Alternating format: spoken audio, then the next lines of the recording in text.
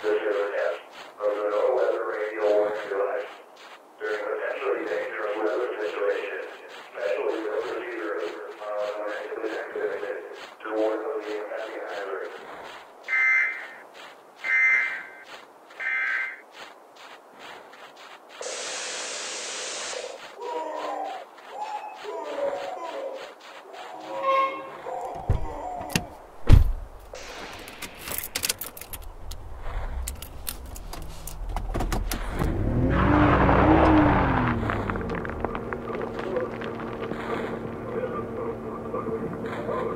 I'm going to go to the